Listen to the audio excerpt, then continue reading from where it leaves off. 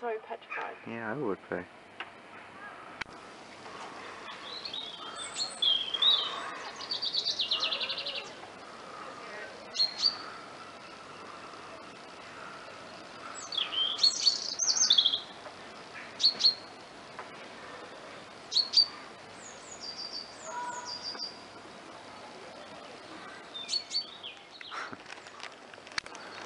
It's like a dog.